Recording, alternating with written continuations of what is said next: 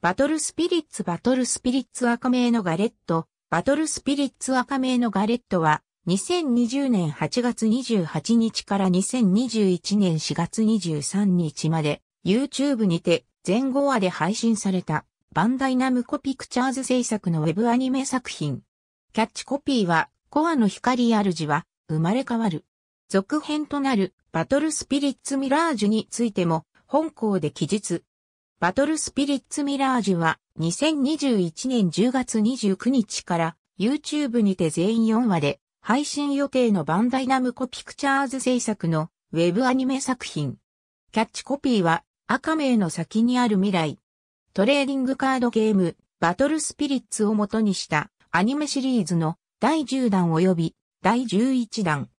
バトルスピリッツ少年撃破弾、バトルスピリッツブレイブ、バトルスピリッツサーガブレイブと世界観を共有した続編でもあり、公式側はこの一連のシリーズを異界見文読シリーズと呼称。そのため、少年撃破団、ブレイブ、サーガブレイブを見ていないとわかりづらい点もある。前作、バトルスピリッツサーガブレイブに続く、ウェブ配信というスタイルが取られている。2020年1月24日に本作の制作が決定。1月26日に BS11 で放送されたバトルスピリッツアニメ祭にてキャラクタービジュアルが公開され、6月26日に YouTube で配信されたバトスピナイト2020夏の陣にてメインキャスト及び主題歌アーティストが発表された。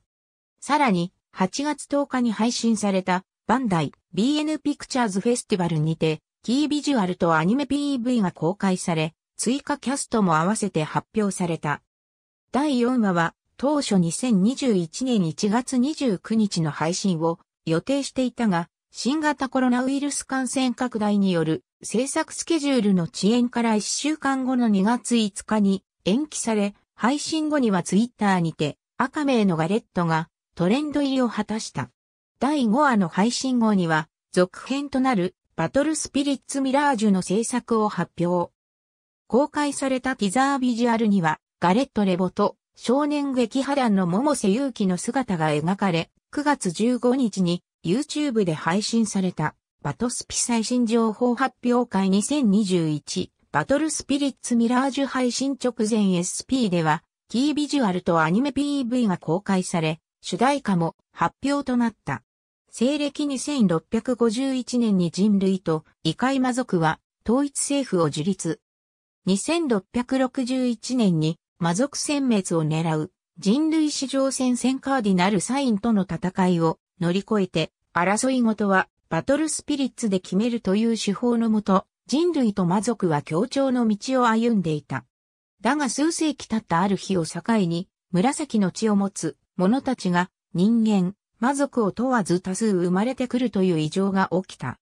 彼らは人間と魔族を超える暗記力や計算力、つまりバトルスピリッツでの強さに直結する優れた頭脳を合わせ持っていた。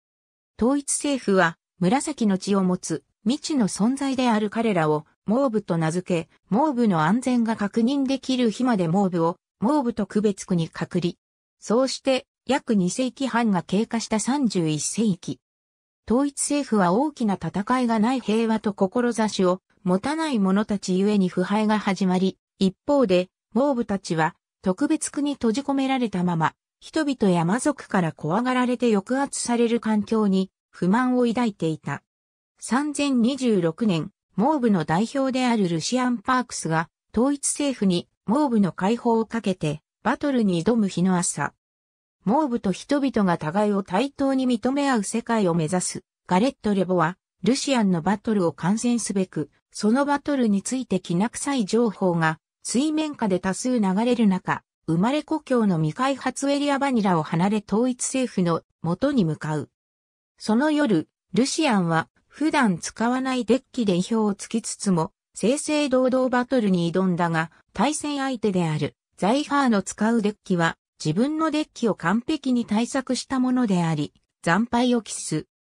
自分のデッキ内容が対戦相手に流出していたと不正を訴えるルシアンだったが、人々には苦し紛れの言い訳に移り、乱闘が起きてルシアンは何者かに視察されてしまった。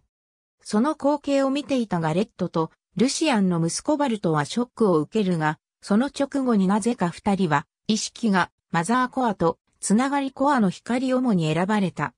モーブの支援者である統一政府議員レオニードの計らいでモーブ特別区の学園に編入したガレットは共にモーブの未来を考えるバルトと信仰を深めていく。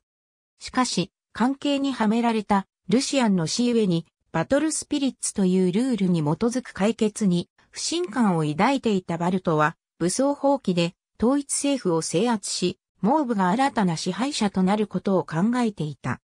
さらに二人がルシアンの死について調べていくうちに、レオニードこそがその死を引き起こした黒幕であり、レオニードはモーブの支援者を装いつつ影からルシアンのデッキ情報を流出させるなどモーブの弾圧と汚職に手を染めた悪人と判明。バルトは父の敵であるレオニードを殺害しようとするもガレットに妨害され失敗に終わる。3027年、ガレットはバルトとバルトが勝てばガレットはバルトに従って武力放棄に力を貸し、ガレットが勝てばガレットはバルトとタモトは勝つという条件でバトルを行い、ガレットは勝利して、学園とバルトの元を去った。ガレットは亡き父アバレスの意志を継いで、モーブと人間と魔族が対等に手を取り合う未来のために、父が調べていた伝説の3種のカードを探す旅に出る。バトルスピリッツを選んだガレット、武力を選んだバルト。異界見聞録を携え、見聞録に書かれた予言を語る謎の少年、ビザルガは、異なる道を選んだ二人のコアの光種たちの行方を見定めるのだった。三種のカードを集めたガレットは、最後の試練として、異界見文録に書かれた言葉に応じて、カードたちが指し示した場所である南極に向かうが、南極で待ち構えていたビザルガは、バトルフィールドを出現させ、ガレットとバトルを行う。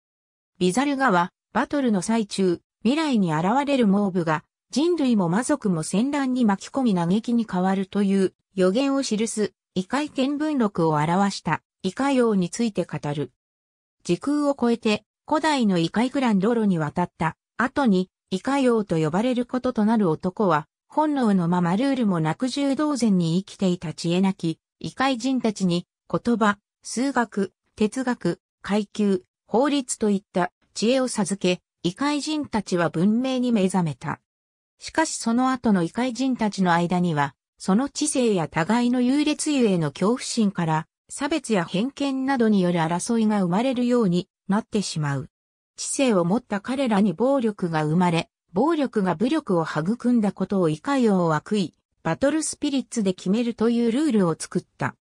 異界王が未来を見て、異界見文録に予言として残したように、高い知力を誇るモーブのバルトが武力を持って世界を変えようとしているのは昔のグランロロで起きた悲劇と何ら変わりはない。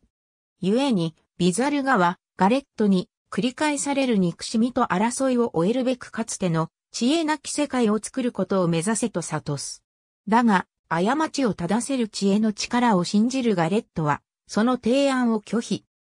人も魔族もモーブも、差別や偏見を乗り越え、手を取り合いともに同じ景色を見る未来という無限遠点にある夢を持つ。ガレットは知恵を持って自分が信じる道を進むことで人々の心を変えてゆく。革命を起こすことを決意し三種のカードが結集し三位一体となったことで生まれた。竜騎士皇帝グランドラゴニックアーサーでビザルガに勝利する。